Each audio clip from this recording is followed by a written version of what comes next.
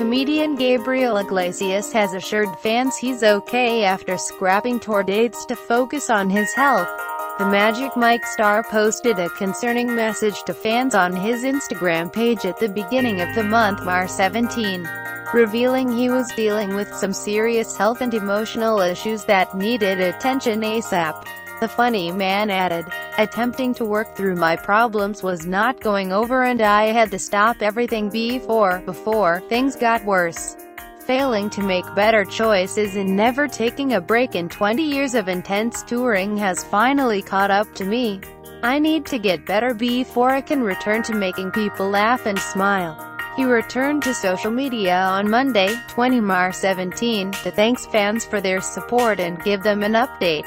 As of this morning I'm down almost 20 pounds since I stopped touring and my diabetes is currently under control with exercise, diet and meds, medication, Gabriel explained. The comic has been working out with boxing trainer Ricky Funez, who he calls an amazing human being, adding, I came to him broken humbled man after I walked away from the road in Feb February, and asked him for help.